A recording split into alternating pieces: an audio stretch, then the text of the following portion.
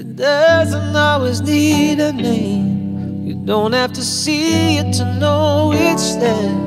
Cause you can.